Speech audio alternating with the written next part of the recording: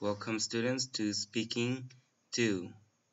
Our lesson plan for today will be Person to Person Book 1, Units 7, Conversation 1.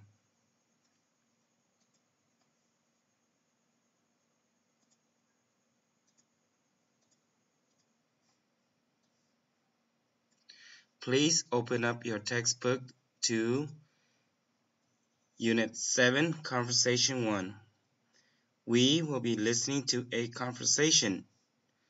As we listen to the conversation, please try to read along so that you can hear what they're saying and you can see what they are saying. So I will play the recording.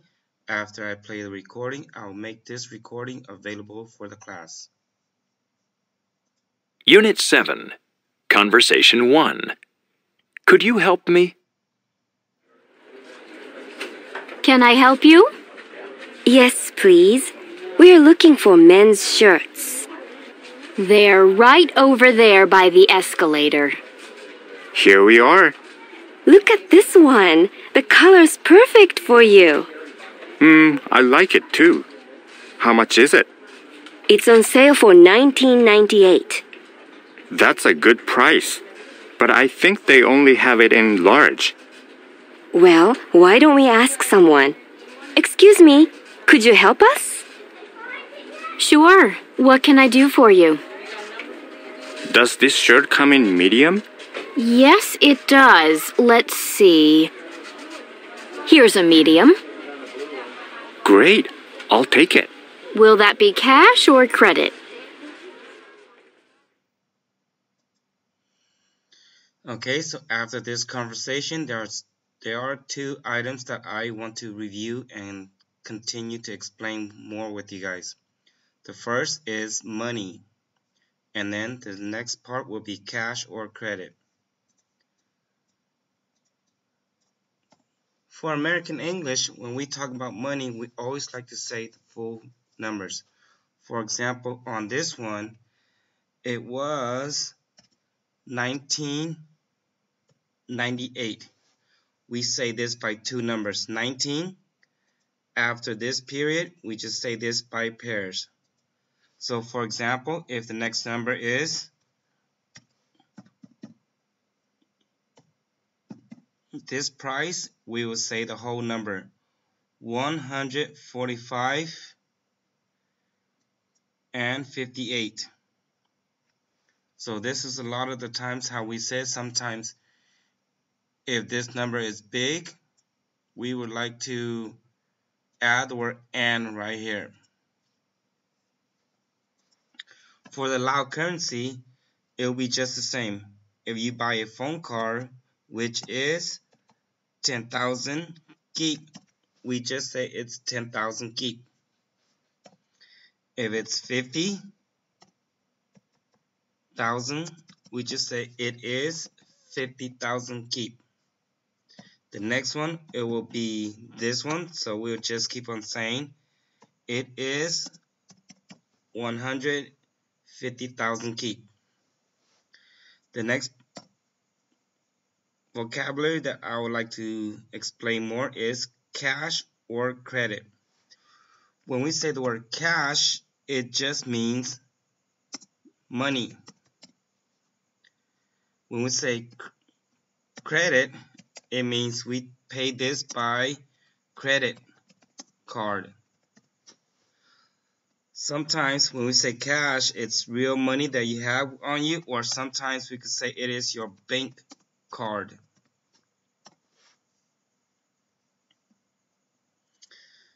Okay, so continue on with the next part of the lesson. When we try to get attentions and getting help and giving help, it's always polite to say, excuse me. After we say, excuse me, we say, could you help me? Can you help me? So for example, if I was at the store and I want to buy something, and I could say, excuse me, could you help me? I want to buy this.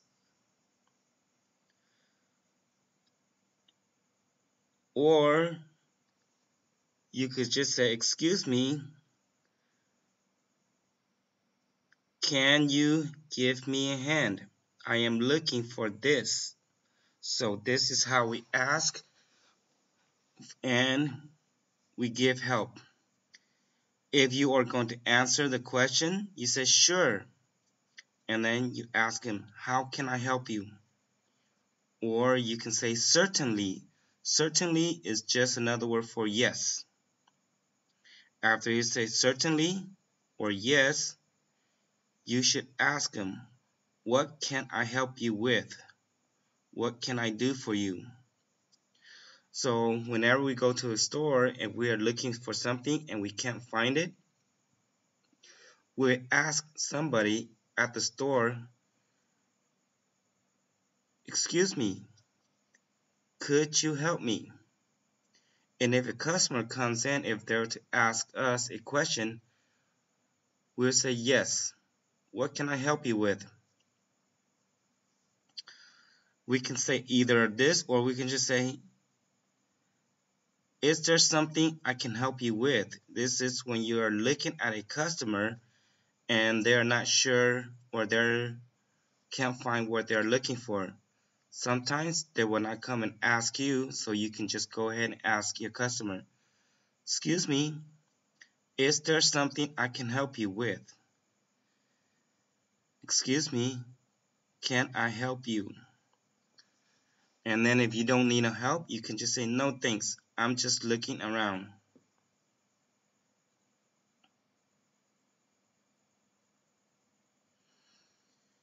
For the next part of the lesson, when we are asking about clothes, we usually see something that we have or we see something that we want to buy.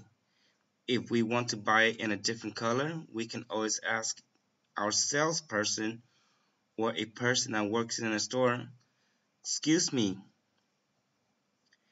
can you help me? Do you have this sweater in black? Do you have these? Whenever we say these, it's more than one. These shoes in size 10. Or we can say, do you have any other colors? If we don't like this color, that's how we ask. Another question that you can use is, does this come in black? This refers to one item. Does this come in black? Or we can say, do these come? When we say these, it means more than one item because shoes, there are two shoes. So we use, do these come in medium? do these come in size 5? After we ask them, they'll usually give us a hand and help us. And when your customer asks you for help, if they ask you anything, for example, do you have this, meaning one, sweater, in black? You can say, yes, we do we don't have it, say, no, I'm sorry, we don't. We can order one for you because you are telling your customer we don't have one here. If you want, we'll order one for you. And with these questions, when you ask, when a customer asks you, does this come in black? You can say, yes, it does. Or if you don't have it, you say, no, I am sorry, it doesn't. It refers to one item. If they ask you, do these, whatever the item is, shoes, come in size 8? You will tell them, no, I am sorry, they don't. Or you can say, yes, we do have them. So for this, you should practice this because every single time, whenever you have a customer or when you're working in a business environment, especially with English, people always come and ask you for questions. Sometimes you see people look like they are confused or lost or they're looking for something and you can always go and ask them if they need help. So for the next part, this will part will be your homework. You will have three of these items and you are going to ask a salesperson. A salesperson is somebody that works in the store. You will want to ask if they have this sweater and size, whichever size you want and what color you like. You'll be making a question and asking the salesperson about a pair of shoes too and a t-shirt. So try to use all of these that we have learned. Excuse me, can you help me?